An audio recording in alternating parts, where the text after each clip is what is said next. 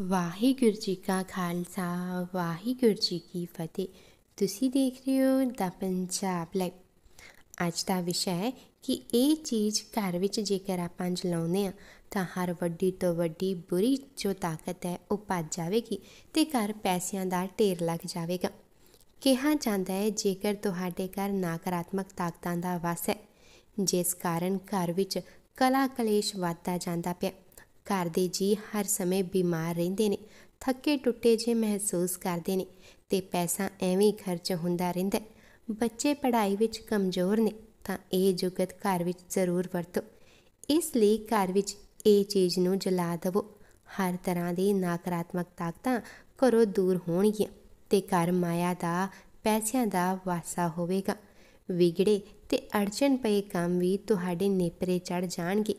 ਪੈਸੇ ਦੀ ਬਰਕਤ ਹੋਵੇਗੀ। ਆਪਾਂ ਆਪਣੇ ਵੱਡਿਆਂ ਵਡੇਰਿਆਂ ਨੂੰ, ਖਾਸ ਕਰਕੇ ਸ਼ਾਮ ਨੂੰ, ਇਹ ਕੰਮ ਕਰਦੇ ਵੇਖਿਆ ਸੀ। ਉਹ ਸ਼ਾਮ ਨੂੰ ਉਹਨਾਂ ਕੀ ਕਰਨਾ, ਵੀ ਉਹਨਾਂ ਇੱਕ ਪਾਂਡਾ ਲੈਣਾ ਤੇ ਉਹਦੇ ਵਿੱਚ ਇਹ ਚੀਜ਼ ਲਾ ਕੇ ਤੇ ਸਾਰੇ ਘਰ ਦੇ ਵੀ ਉਹਨਾਂ ਆਸੇ-ਪਾਸੇ ਚੱਕਰ ਦੇਣਾ। ਜਿਸ ਦੇ ਨਾਲ ਘਰ ਦੇ ਵਿੱਚ ਜਿਹੜੀ ਨੈਗੇਟਿਵ એનર્ਜੀ ਸੀ, ਤਾਕਤ ਸੀ, ਉਹ ਫਿਰ ਦੂਰ ਹੋ ਜਾਂਦੀ ਹੈ। ਕਿਹਾ ਜਾਂਦਾ ਹੈ, ਇਹ ਜੋ ਨਕਾਰਾਤਮਕ ਤਾਕਤਾਂ ਹੁੰਦੀਆਂ ਨੇ ਨਾ, ਇਹਦੇ ਨਾਲ ਕੰਮ ਬਣਦੇ ਬਣਦੇ ਵੀ ਵਿਗੜਨ ਲੱਗ ਜਾਂਦੇ ਨੇ। ਇਹ ਜੋ ਸਮੱਗਰੀ ਹੈ ਇਹ ਆਪਣੇ ਸਭ ਦੇ ਘਰਾਂ ਵਿੱਚ ਹੁੰਦੀ ਹੈ ਕਹਿੰਦੇ ਸੂਰਜ ਢਲਣ ਤੋਂ ਬਾਅਦ ਇਹ ਜੋ ਸਮੱਗਰੀ ਇਹਦਾ ਧੂਆਂ ਕਰਕੇ ਪੂਰੇ ਘਰ ਵਿੱਚ ਦੋ। ਐਵੇਂ ਕਰਨ ਦੇ ਨਾਲ ਸਾਰੀ ਨਕਾਰਾਤਮਕਤਾ ਦੂਰ ਹੋ ਕੇ ਤੇ ਵਿਗੜੇ ਕੰਮ ਬਣਨ ਲੱਗ ਜਾਂਦੇ ਨੇ। ਪੁਰਾਤਨ ਸਮੇਂ ਵਿੱਚ ਹਰ ਘਰ ਵਿੱਚ ਇਹ ਕੰਮ ਕੀਤਾ ਜਾਂਦਾ ਸੀ। ਘਰ ਸੁਖ ਸਮਰਿੱਧੀ ਵੀ ਸੀ, ਘਰ ਪਿਆਰ ਵੀ ਸੀ ਤੇ ਆਪਸ ਵਿੱਚ ਜੀਆਂ ਦਾ ਜੋ ਸਲੋਕ ਵੀ ਬਣਿਆ ਰਹਿੰਦਾ ਸੀ। ਘਰ ਦੇ ਲੋਕ ਘੱਟ ਬਿਮਾਰ ਹੋਇਆ ਕਰਦੇ ਸੀ। ਪੁਰਾਤਨ ਬੀਬੀਆਂ ਜਾਂ ਫਿਰ ਕਹਿ ਲਓ ਵੀ ਪੁਰਾਣੇ ਸਮੇਂ ਵਿੱਚ ਅੱਜ ਤੋਂ ਲਗਾ ਲਓ 20 30 ਸਾਲ ਪਹਿਲਾਂ ਕੀ ਕੀਤਾ ਜਾਂਦਾ ਸੀ? ਵੀ ਗੁੱਗਲ ਲਿਆਈ ਜਾਂਦੀ ਸੀ ਬਾਜ਼ਾਰ ਦੇ ਵਿੱਚੋਂ। ਫਿਰ ਘਿਓ ਤਾਂ ਦੇਸੀ ਘਿਓ ਹਰ ਘਰ ਦੇ ਵਿੱਚ ਹੁੰਦਾ ਸੀ। ਉਸ ਤੋਂ ਬਾਅਦ ਗੁੜ ਘਰ ਦਾ ਬਣਾਇਆ ਜਾਂਦਾ ਸੀ। ਸੁੱਕਾ ਨਾਰੀਅਲ ਦਾ ਪਾਊਡਰ, ਲੌਂਗ ਵੀ ਹਰ ਕਿਸੇ ਦੀ ਰਸੋਈ ਵਿੱਚ ਹੁੰਦਾ ਸੀ ਤੇ ਪੀਲੀ ਸਰੋਂ ਆਪਣੇ ਖੇਤਾਂ ਵਿੱਚ ਹੁੰਦੀ ਹੀ ਹੁੰਦੀ ਸੀ। ਇਹ ਚੀਜ਼ਾਂ ਲੈ ਕੇ ਵੀ ਗੁੱਗਲ ਦੇਸੀ ਘਿਓ ਗੁੜ, ਸੁੱਕਾ ਨਾਰੀਅਲ ਤੇ ਲੌਂਗ ਵੀ ਘਰ ਹੁੰਦੇ ਸਨ ਤੇ ਪੀਲੀ ਸਰੋਂ ਵੀ ਹੁੰਦੀ ਸੀ। ਇਹਨਾਂ ਸਾਰੀਆਂ ਚੀਜ਼ਾਂ ਨੂੰ ਬਰਾਬਰ ਮਾਤਰਾ ਵਿੱਚ ਮਿਲਾ ਕੇ ਬਸ ਗੂਗਲ ਦੁੱਗਣੀ ਮਾਤਰਾ 'ਚ ਲਿਆ ਜਾਂਦਾ ਸੀ ਤੇ ਇਹਨਾਂ ਨੂੰ ਮਿਲਾ ਕੇ ਤੇ ਸਾਰਿਆਂ ਨੂੰ ਪੀ ਕੇ ਰੱਖ ਲਿਆ ਜਾਂਦਾ ਸੀ ਜਾਂ ਕੁੱਟ ਕੇ ਕਹਿ ਲਓ। ਉਸ ਤੋਂ ਬਾਅਦ ਰਾਤ ਨੂੰ ਜਦੋਂ ਘਰ ਅੱਗ ਬਾਲੀ ਜਾਂਦੀ ਸੀ ਤਾਂ ਥੋੜੀ ਜੀ ਅੱਗ ਇੱਕ ਵੱਖਰੇ ਭਾਂਡੇ 'ਚ ਪਾ ਕੇ ਤੇ ਉੱਤੇ ਥੋੜੀ ਜੀ ਸਮੱਗਰੀ ਪਾ ਦਿੱਤੀ ਜਾਂਦੀ ਸੀ।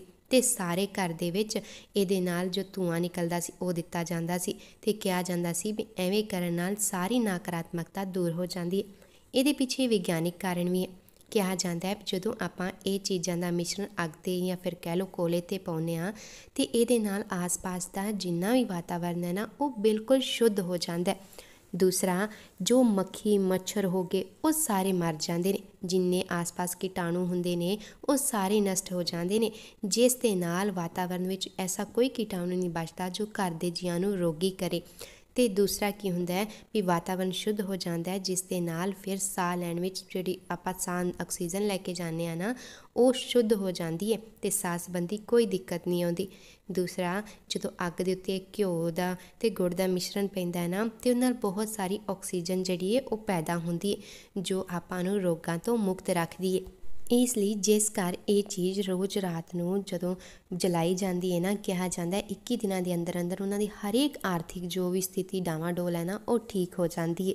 ਪੁਰਾਤਨ ਸਮੇਂ ਵਿੱਚ ਲੋਕ ਕੀ ਕਰਦੇ ਸੀ ਵੀ ਉਹਨਾਂ ਨਾਲ ਰਾਤ ਨੂੰ ਇੱਕ ਦੀਵਾ ਪਾਲਣਾ ਤੇ ਉੱਤੇ ਇੱਕ ਨਾ ਛੋਟੀ ਜਿਹੀ ਕਪੂਰ ਦੀ ਟਿੱਕੀ ਲੈ ਕੇ ਜਾਂ ਫਿਰ ਕਹਿ ਲਓ ਵੀ ਉਦੋਂ ਉਸ ਸਮੇਂ ਟਿੱਕੀਆਂ ਨਹੀਂ ਸਨ ਬੰਦੀਆਂ ਤਾਂ ਛੋਟਾ ਜਿਹਾ ਟੁਕੜਾ ਲੈ ਕੇ ਤੇ ਉੱਤੇ ਜਲਾ ਦਿਆ ਕਰਨਾ।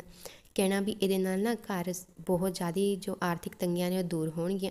ਪਰ ਵਿਗਿਆਨ ਅੱਜ ਕਹਿੰਦਾ ਹੈ ਕਿ ਜਦੋਂ ਆਪਾਂ ਐਵੇਂ ਕਰਦੇ ਆ ਨਾ, ਜਿੰਨੇ ਵੀ ਬੈਕਟੀਰੀਆ ਨੇ, ਉਹ ਨਸ਼ਟ ਹੋ ਜਾਂਦੇ ਨੇ।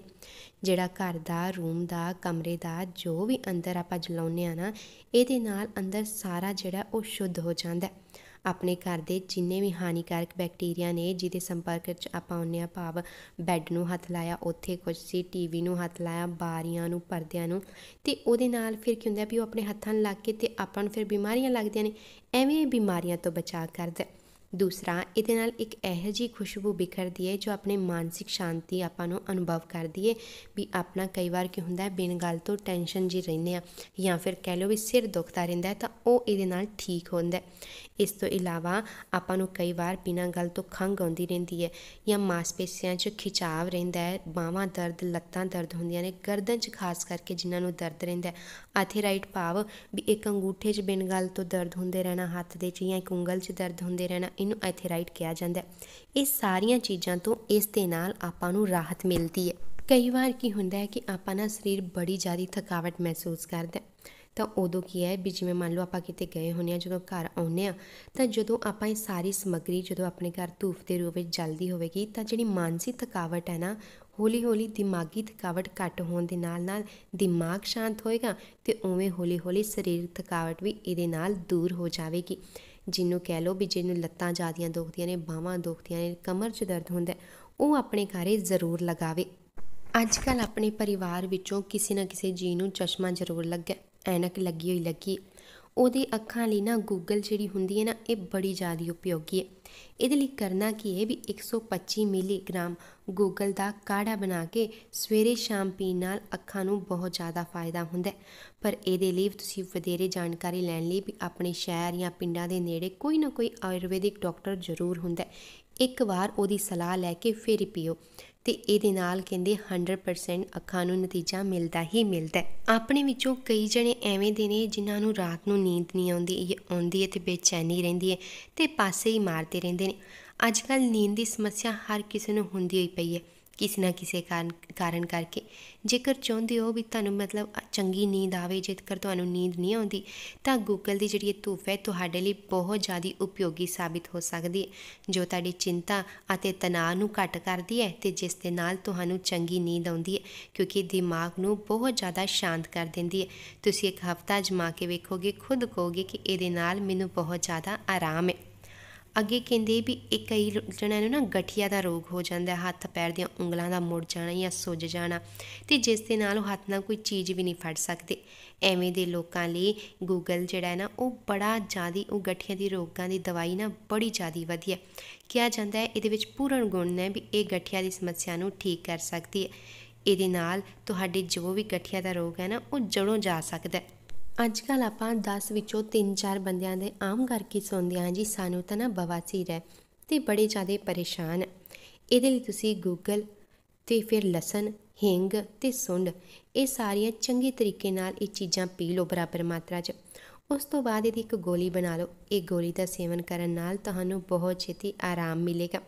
ਫਿਰ ਕਿਹਾ ਜਾਂਦਾ ਹੈ ਵੀ ਅੱਜ ਕੱਲ ਨਾ ਆਪਣਾ ਖਾਣ ਪੀਣ ਐਵੇਂ ਦਾ ਹੋ ਗਿਆ ਜਿਸ ਦੇ ਨਾਲ ਹਰ ਘਰ ਵਿੱਚ ਸਾਰੇ ਜਣੇ ਕਹਿੰਦੇ ਇਸ ਤੇ ਕਬਜ਼ ਦੀ ਦਿੱਕਤ ਨਾਲ ਬੜੇ ਜ਼ਿਆਦਾ ਪਰੇਸ਼ਾਨ ਤੇ ਅੱਜ ਕੱਲ ਜਿਹੜੀ ਕਬਜ਼ ਦੀ ਦਿੱਕਤ ਹੈ, ਇਹ ਸਾਰਿਆਂ ਨੂੰ ਹੁੰਦੀ ਹੈ।